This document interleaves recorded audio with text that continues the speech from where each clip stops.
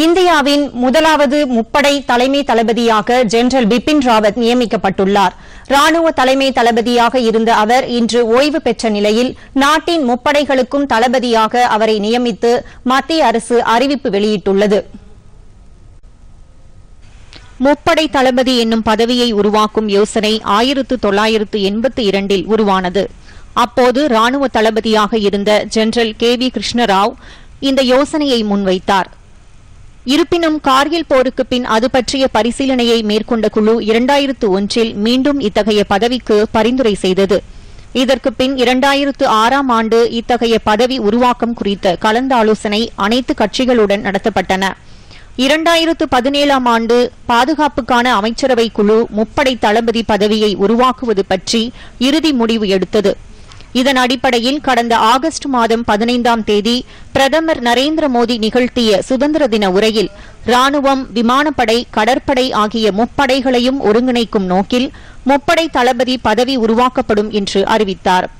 இந்த அறிவிப்பை செயலாக்க மத்திய அமைச்சரவை கடந்த வாரம் ஒப்புதல் அளித்தது. இதைத் தொடர்ந்து பிபின் ராவத் முப்படை தளபதியாக நியமிக்கப்பட்டார். இதற்கான உத்தரவை மத்திய அரசு நேற்று பிறப்பித்தது. பிபின் ராவத் உத்தரகாண்ட் மாநிலம் பாவ்ரி என்ற இடத்தில் ஆயிரத்து தொள்ளாயிரத்து ஐம்பத்து எட்டாம் ஆண்டு மார்ச் மாதம் பதினாறாம் தேதி பிறந்தார். இவரது குடும்பத்தினர் பல தலைமுறைகளாக ராணுவத்தில் பணிபுரிந்தவர்கள். பிபின் ராவத்தின் தந்தை லக்ஷ்மண் சிங் ராவத் லெப்டினன்ட் ஜெனரலாக பணிபுரிந்தவர். டேராடூனில் பயிற்சி பெற்ற பிபின் ராவத் அங்கு சிறந்த முறையில் பயிற்சி பெற்றவர்களுக்கான ஸ்வாட் ஆஃப் ஹானர் விருது பெற்று ஆயிரத்து தொள்ளாயிரத்து எழுபத்தி எட்டாம் ஆண்டு டிசம்பர் மாதம் ராணுவ பணியில் சேர்ந்தார். முப்பத்தி எட்டு ஆண்டுகாலம் ராணுவத்தில் சேவை புரிந்த அவர் உயரிய விருதுகளை பெற்றுள்ளார். ராணுவத்துறையில் சென்னை பல்கலைக்கழகத்தில் இருந்து எம்ஃபில் பட்டம் பெற்றார். இதைத் தொடர்ந்து ராணுவத்தின் வழிமுறை உத்திகள் குறித்து ஆய்வு செய்து மீரட்டில் உள்ள சௌத்ரி சரண் சிங் பல்கலைக்கழகத்தில் டாக்டர் பட்டம் பெற்றார். முப்படை தலைமை தளபதியாக நியமிக்கப்பட்டுள்ள பிபின் ராவத் பாதுகாப்புத்துறை அமைச்சரின் முதன்மை ஆலோசகராகவும் செயல்படுவார்.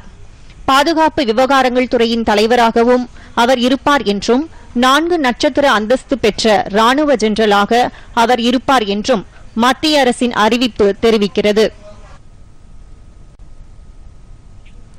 பாரம்பரியமிக்க நமது நாட்டின் படைப்பிரிவுகள் சவால்மிக்க சூழ்நிலைகளில் உறுதியுடன் நின்று தங்களின் கடமைகளை நிறைவேற்றி வருவதற்கு தமது பாராட்டுகளை தெரிவிப்பதாக ஜெனரல் பிபின் ராவத் தெரிவித்துள்ளார். ராணுவ தலைமை தளபதி பதவியில் இருந்து ஓய்வு பெற்ற அவர் இன்று பிரிவு உபச்சார ராணுவ அணிவகுப்பு மரியாதையை ஏற்றுக்கொண்டார். கடந்த மூன்றாண்டு காலம் தாம் பதவியில் இருந்தபோது தமக்கு முழுமையாக ஆதரவு அளித்த ராணுவ வீரர்கள் அனைவருக்கும் அவர்களின் குடும்பத்தினருக்கும் நன்றி தெரிவிப்பதாக பிபின் ராவத் கூறினார். எத்தகைய பாதுகாப்பு சவால்களையும் எதிர்கொள்ள ராணுவம் தயார் நிலையில் இருப்பதாகவும் அவர் குறிப்பிட்டார். தற்போது புதிய தலைமை தளபதியாக பொறுப்பேற்றுள்ள லெப்டினன்ட் ஜெனரல் நராவனே தலைமையில் இந்திய ராணுவம் புதிய உச்சங்களை தொடும் என்று அவர் நம்பிக்கை தெரிவித்தார். முன்னதாக நாட்டை பாதுகாக்க தங்கள் இன்னுயிரை ஈந்த வீரர்களுக்காக அமைக்கப்பட்டுள்ள தேசிய போர் நினைவு சின்னத்தில் அவர் மலர் வளையம் வைத்து வணக்கம் செலுத்தினார். முப்படை தலைமை தளபதியாக பிபின் ராவத் நாளை பதவியேற்க உள்ளார். இதற்கிடையே முப்படை தலைமை தளபதியாக நியமிக்கப்பட்டுள்ள பிபின் ராவத்துக்கு அமெரிக்கா வாழ்த்து தெரிவித்துள்ளது.